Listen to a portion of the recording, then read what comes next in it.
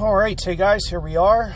Now, this is one of those holes in the game that, from what I've seen, only has one pin. I don't know if that's ever going to change. I've never, never grabbed another pin on this one. And what I like to do on this is actually loop R's. And the biggest reason is because I really need that side spin. Also, the length is helpful too. Keeping this within big, uh, Bigfoot really makes this hole a lot easier.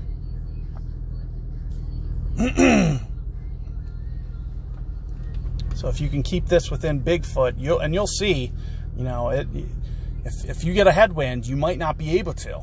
So you really are kind of pressing with with these early clubs. You're really pressing your range a bit, and you really want to be up to where I am, because if you get in between, you can see here's the max line right there, and that's more of the shot that I want to try to hit.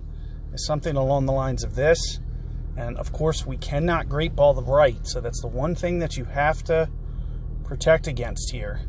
And there's not going to usually be a lot of rollout here. I'll usually play pretty close to two per ring here. So I'm, you know, kind of focusing on spots here.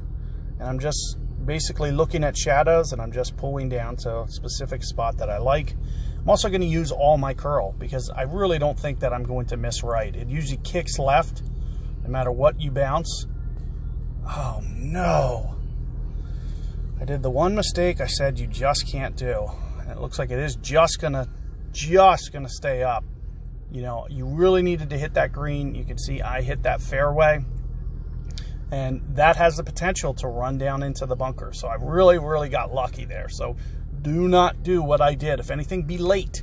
You can be late, especially with all that curl, with all that uh, with all that side spin I definitely could have been late on my timing, could not be early. That was a big mistake there. It could have cost me the hole.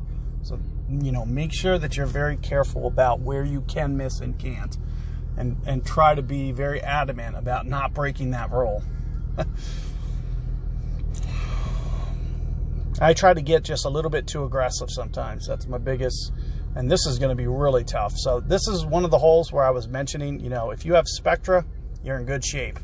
You really need Spectra for this tour, and of course, I just moved my line, so I'm going to have to try to short hit this, and it's this is just going to be ridiculously hard.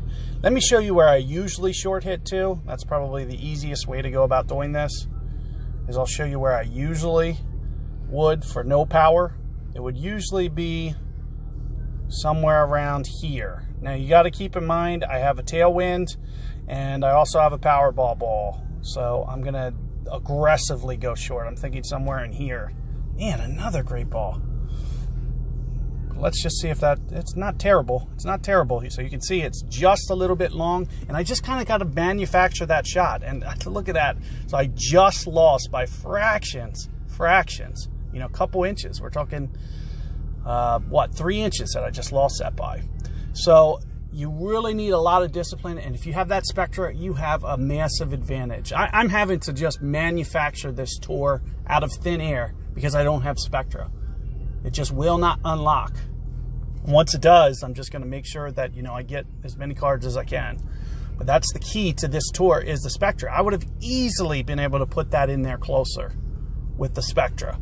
So really be looking at getting that club. If you have it, do not change from that club. That's the one club that you want. So good luck there, and I'll